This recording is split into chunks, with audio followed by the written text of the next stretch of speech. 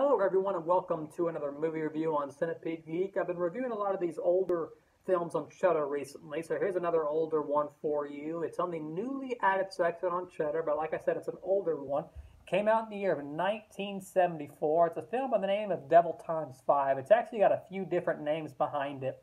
Devil Times Five is one of them. You might also know it as People Toys, and I believe when the film comes on the screen, or when the title comes across the screen, it reads something like The Horrible House on the Hill or something like that. And if I'm wrong about that, let me know on the comment boards below. It's directed by Sean MacGregor and David Sheldon, and it stars Sorrell Booke, Gene Evans, and Taylor Locker. And forgive, if, forgive me if I pronounce any of those names wrong.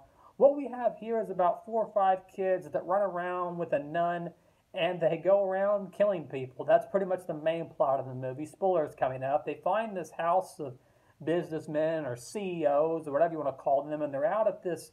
I guess you could call it a a winter movie or a Christmas movie, if you want to call it that. It's not really a Christmas movie, but it does take place in the winter and the snow. So if you want to classify it as one, I guess you can.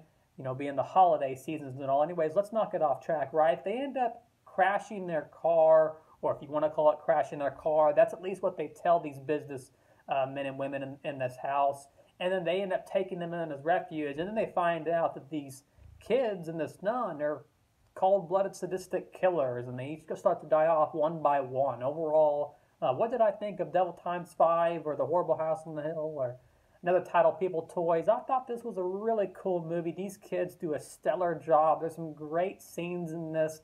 Just kind of like the slow anticipation and the slow build of these adults finding out that these kids are not as innocent as they think they are. They're not innocent at all. They're actually cold-blooded, sadistic killers, like I said earlier, that walk around, that run around with this crazy nun, and this crazy nun, the oldest of them, might actually be the uh, most sadistic of them all. It's a pretty cool movie. It's got some really good scenes in there.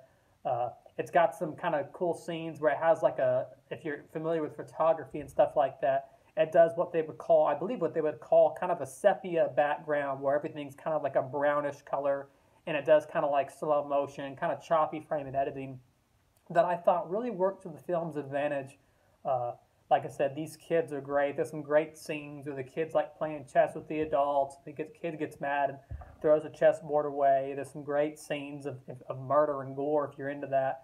Where these kids, like I said, these kids are killing off the parents, you know, and there's a scene where this there's this kid that he has long blonde hair and he's I guess you'd call him a cross dresser and he he dresses he dresses uh, you know he starts to get the different uh, picks up the women's clothing and puts the clothing on and then he starts to uh, you know kill uh, he kills one of the guys with an axe and uh, more in touch with his feminine side either way there's some, you know, there's some great acting in this film. Just a really cool movie, one that I would definitely recommend up there with other older films I've watched recently. If you've watched my other reviews, Switchblade Sisters, and just another really cool older uh, horror film that I would definitely, uh, definitely recommend. And, and maybe he wasn't a cross-dresser. Maybe he was just, you know, getting in touch with more of his feminine side and something he had didn't quite uh, fully understand yet. You know, Either way,